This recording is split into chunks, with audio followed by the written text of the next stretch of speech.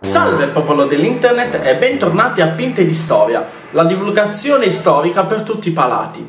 Oggi non parleremo di una pinta ma faremo semplicemente un sorso, sapete in questi ultimi tempi come eh, abbiamo deciso di fare questo nuovo format che si chiama per l'appunto Sorsi di Storia e in questa puntata tratteremo in particolare di un paese sudamericano che nel 1830 si è formato ed è diventato in un certo senso indipendente, ovvero il Venezuela. oh, salve! Buongiorno! Cos'è? Basta che vado tre mesi a Londra e mi prende il posto, lei? Eh, Vergogna! E no, voi eh. niente gli dite che mi ruba il lavoro Devi questo? sapere che, devi sapere che no, comunque la, la- come diceva Freddie Mercury, the show must go on. Eh, ho capito, ma adesso sono tornato e Ma vabbè, ormai hai iniziato e ti lascio condurre, dai. Oh, grazie, oggi, come fa- sei gentile, oggi faccio io l'intervistato. Come sei vai. gentile. Grazie. La cosa bella del Venezuela è che ha una storia particolarmente tormentata, non è solo una cosa recente, lo, che lo sapete, ultimamente il Venezuela sta vivendo una crisi profondissima, però queste crisi profonde sono cicliche nella storia venezuelana e partono proprio Come tutta la storia ciclica. sì, ma in particolare in quella del Venezuela. Ah. Il Venezuela, infatti, già da quando nasce è eh, governato da caudillos e presidenti che sono decisamente poco democraticamente eletti. Abbiamo, per esempio, i primi che furono Blanco e Cipriano Castro. Che sostanzialmente governarono grazie a una fitta rete di alleanze con latifondisti, eh, ar- affaristi della peggior specie, quindi insomma dei presidenti non molto amati dal popolo. Beh, poi abbiamo avuto una breve parentesi con eh, Gomez, che è stato il primo presidente autoritario, infatti centralizzò l'esercito e il comando dell'esercito, rendendo di fatto la figura del presidente ehm, importantissima nella conduzione degli affari generali del paese. Per poi però ovviamente governare con pugno di ferro. Infatti in quel eh, momento il Venezuela non ha visto alcun avanzamento dal punto di vista sociale e civile. Beh, un qualche miglioramento c'è stato soltanto con eh, i due presidenti degli anni 30-40 che erano Contreras e Hangarita, che era un... in verità questo era un generale dell'esercito, quindi non era propriamente un presidente, però comunque ha governato e effettivamente hanno apportato qualche beneficio al paese. Si cominciò a parlare di previdenza sociale, venne introdotta una tassa sul reddito, furono comunque eh, ri- rivisitate le leggi del codice civile che era ancora quello ottocentesco. Quindi insomma, sono- per quanto non democraticamente eletti, quei presidenti furono forse tra i primi che qualche effettivo beneficio lo apportarono Hai al paese. parlato di anni 40. Ah, ma? Nella prima Sì. metà degli anni 40 succede un- una cosa, una guerra molto particolare. Seconda guerra mondiale, Esatto. Qual è, il, qual è stato il ruolo del, della- del Venezuela in questo conflitto? Oddio, beh, eh, per rimarcare la propria mh, alleanza con le potenze del- dell'America del Nord e dell'Inghilterra, che erano sostanzialmente le sue pre- principali creditrici, ovvero Stati Uniti e Gran Bretagna, la- mh, il Venezuela si è schierato contro l'asse, quindi insieme alle potenze alleate. Però se mi dovessi chiedere qual è stato il suo effettivo contributo, Beh, non c'è stato, no? è, è stata solo una dichiarazione di guerra formale, e infatti nulla ci ha perso e nulla ci ha Ah, Quindi è guadagnato. rimasta. Sì, era formalmente. come doveva fare l'Italia. Eh, vabbè, qua entriamo in un altro tipo di discorso. Comunque, no, il Venezuela ha partecipato solo formalmente alla Che guerra poi ho letto anche che come in Italia, anche nel il Venezuela nel 1946 ha subito un, proce- un processo stile quello italiano con un'assemblea costituente, una cosa Mhm. del genere. Beh, poi terminata la seconda guerra mondiale, per la prima volta il Partito Socialdemocratico si afferma alla guida del paese, prima con Betancourt e poi con il primo presidente democraticamente eletto della storia venezuelana, che è stato Galleros, un famoso scrittore del tempo.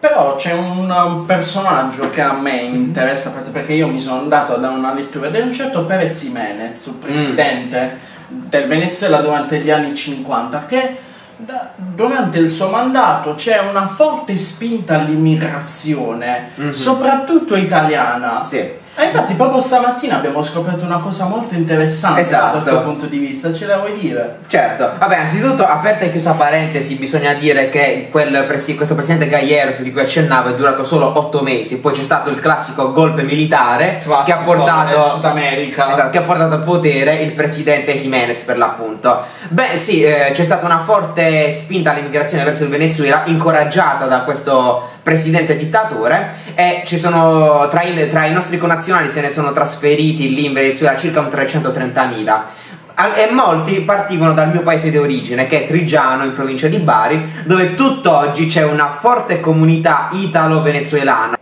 Beh, diciamo che poi eh, il presidente Perez, anche lui venne sostituito e tra gli anni 60, 70, 80 all'incirca il Venezuela ha conosciuto forse l'unica era di pace e prosperità della sua storia e di democrazia. Infatti si sono alternati, un po' come in Italia, due grossi partiti, quello socialista e quello cristiano-democratico, mm. in un equilibrio dei poteri che ha molto giovato allo sviluppo civile, economico e sociale soprattutto del, del paese latinoamericano.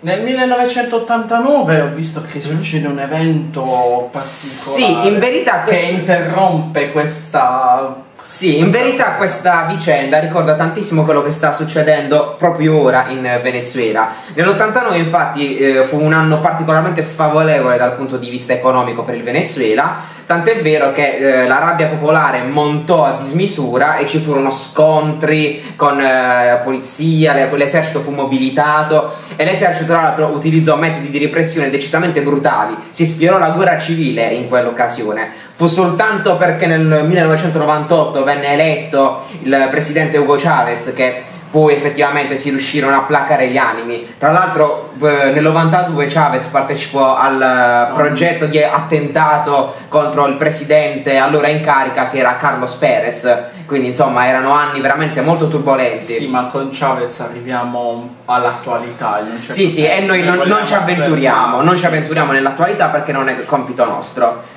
Hai Michele qualche suggerimento bibliografico o filmografico, sitografico da darci per chi volesse andare oltre questa nostra Sì, io, consiglio, io direi che visto che siamo in periodo estivo non consiglio libri perché comunque fa caldo e nessuno ha voglia di portarsi il, cl- il, classico mattone sotto l'ombrellone. Però vi consiglio un ottimo film del 2010, Hermano, si trova anche in italiano che è la storia di due ragazzi che crescono a Caracas, nella Caracas contemporanea degli anni 2000 ed è un uh, ottimo film per capire come effettivamente la violenza sia parte integrante della storia del paese, non solo integrante ma anche uh, profondamente radicata nelle vicende sociali, An- anche la famiglia più umile, meno coinvolta dal punto di vista politico, cose varie, subisce ed è a sua volta agente di violenza. Un film molto bello, a me fa piangere ogni volta che lo vedo. Come per dire che tutto è storia alla fine. Esatto, tutto è storia. Va bene, va bene Michele, grazie per questi suggerimenti bibliografici e sitografici e filmografici.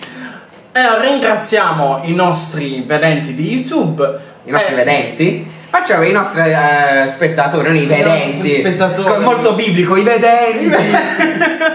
In effetti hai ragione. Eh, ringraziamo i nostri spettatori di YouTube e vi diamo appuntamento alla prossima pinta. Alla prossima. Alla prossima.